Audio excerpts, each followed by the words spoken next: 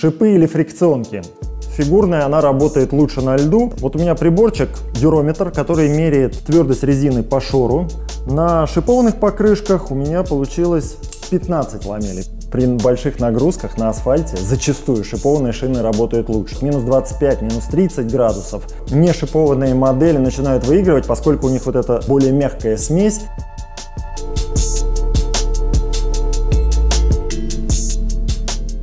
В преддверии зимнего сезона снова встает вопрос, шипы или фрикционки, на чем ездить следующей зимой. Хочется ведь и не так дорого, и чтобы шины были качественные и безопасные. Так вот, на примере двух моделей от компании Cardiant, Cardiant Snowcross 2 и Cardiant Winter Drive 2, я попробую рассказать о основных достоинствах и недостатках этих двух принципиально разных типов шин. Начну с шипованной модели. 16-дюймовые шины содержат 120 шипов Spycore.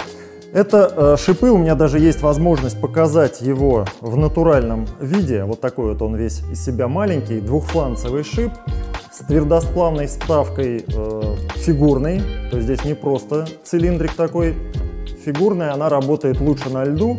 И вот посмотрите, какая выемка на тыльной стороне на опорном фланце шипа расположено. Это сделано для уменьшения шума.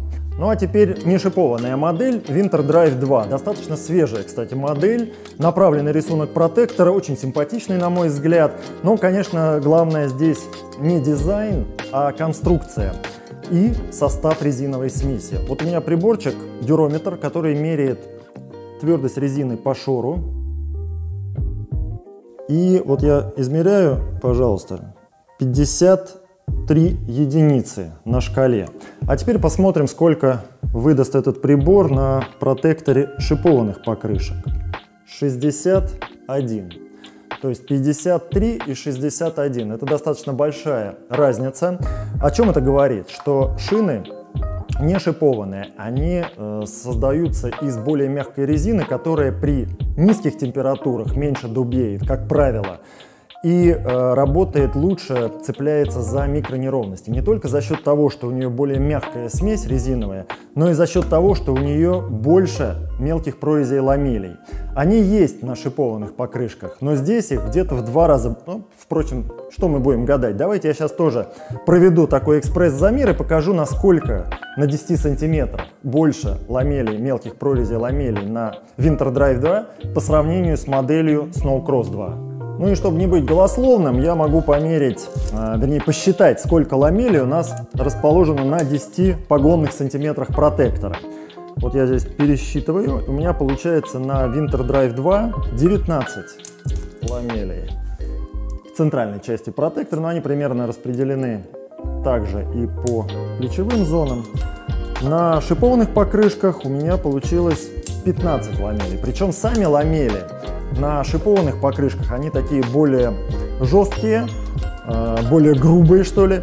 На нешипованных они имеют форму зигзагообразную, причем и там, и там все эти ламели имеют 3D структуру. То есть, когда вы раскрываете эту ламель, то вы видите, что там есть некий профиль, который не дает складываться протектору. Это очень важно, причем это работает и на шипованных, и на нешипованных покрышках. На нешипованных в первую очередь. Почему? Потому что вы помните, мы померили твердость, здесь твердость меньше, выезжаете на асфальт, шина получает нагрузку при экстренном торможении в э, критическом повороте, и протектор складывается. Вот чтобы он не складывался, чтобы повысить его жесткость, как раз применяется вот эта технология 3D ламелей.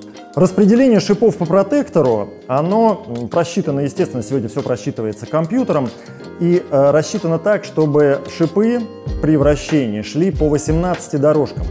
Что это значит? Значит, что при торможении, при разгоне шипы не будут пересекаться, они не будут попадать в одну и ту же колею и обеспечивать будут очень хороший уровень сцепления, то есть каждый шип будет выбирать себе новую колею. Итак, зная вот этот конструктив, конечно, вы можете сами сделать выводы, и эти выводы известны. Шипованные шины, основной их недостаток – это шум. При замерах э, внешнего шума на скорости 80 км в час, как правило, шипованные модели на 5-6 дБ громче звучат, чем не шипованные. 5-6 дБ – это много. Ну и, наверное, все. То есть у шипованных покрышек больше таких вот э, характерных недостатков нет. Многие думают, что они плохо работают на асфальте, но погодите, резина потверже, при больших нагрузках на асфальте зачастую шипованные шины работают лучше. Э, распространенное мнение, что вот эти вот шипы, на них как на гвоздиках протектор приподнимается, это заблуждение. На самом деле шипы утопленно выступают